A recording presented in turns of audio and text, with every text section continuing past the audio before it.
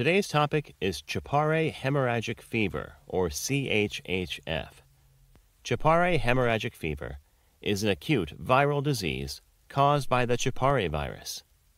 The only known outbreak of the condition occurred in January 2003 in the village of Samuzabeti, Chapare Province, Bolivia. The only described patient of Chapare hemorrhagic fever died 14 days after onset of symptoms.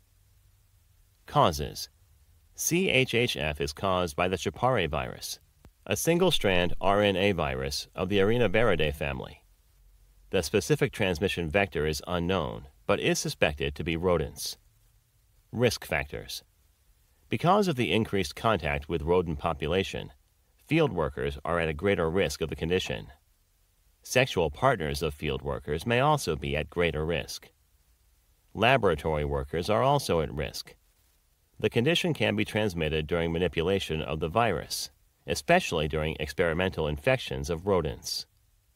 Symptoms Fever, a headache, vomiting, muscle pain, nosebleeds, bleeding gums. Diagnosis and treatment.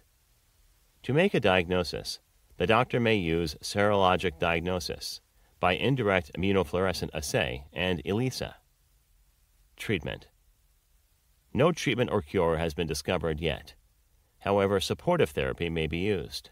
This includes hydration, maintenance of shock, pain relief, sedation, precautions for patients with bleeding disorders, transfusions when necessary, an antiviral drug.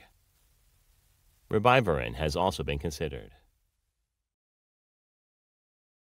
Thank you for watching our video. Please do not forget to like and share the video. Also, please subscribe to the channel to stay updated on our latest videos.